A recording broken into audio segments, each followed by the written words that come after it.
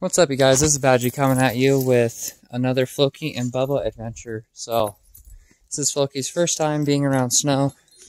Seems to uh, quite enjoy it so far. Bubba seems to like snowballs. This is my first actual winter with Bubba. But anytime I grab snowballs, he's like, trying to eat them out of my hand. But the reason they're on cables is because Bubba's a reactive dog, just in case if he gets out. Because once um summer comes, I'm gonna put up a six foot privacy fence, so then he won't have to be on a cable anymore. Floki's on a cable because of the pin of the cattle panels. For whatever reason, for how big he is, he can still fit through the holes. Which is amazing, by the way. That he can do that. And then he tries to go on adventures. So this is to keep him from, uh, you know, disappearing on me, getting kidnapped, hurt, whatever happens. But, uh, so far, snow seems good for uh, Floki. Bubba? Like snowballs. Snowballs.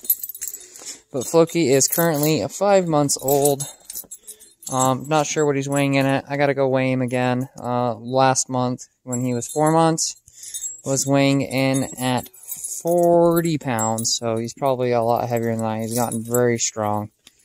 Again, his breed is an American Pit Bull Terrier Red Nose crossed with a German Shepherd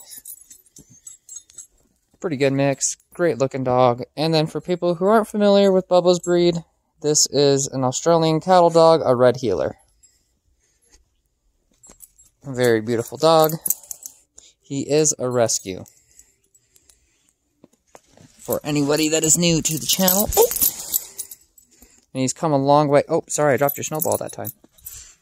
What? What? what? You didn't bite it at this time. Wow. Floki, what do you do with the snowball? What?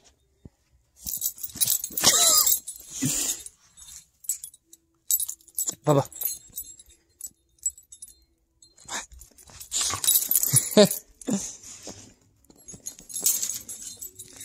but so far, they seem to uh, thoroughly enjoy the snow. But guys, as always, don't forget to like, comment, and subscribe. Turn that bell on for future notifications. That way you're notified every time I go live or upload a video. Take it easy and stay sleazy.